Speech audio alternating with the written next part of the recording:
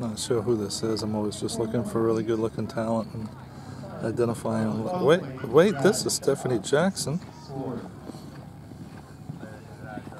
530s in the renowned senior junior glider division. All eyes are on Stephanie. She's our ever class leader. Drummond Lad. From Loman Lad, that's right.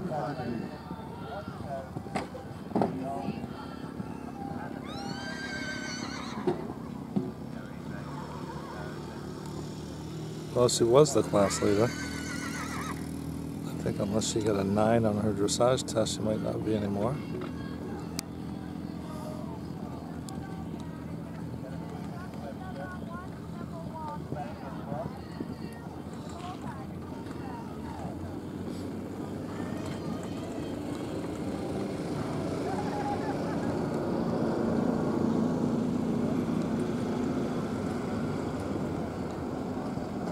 She could just be knocking down three rails early to to out to make Aiden Shane feel better, but now that she's got four, she's she's in uncharted territory for the barn.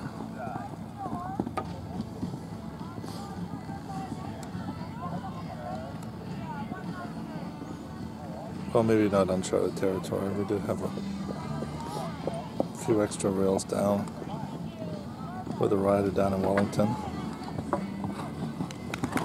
Finishes the, the double.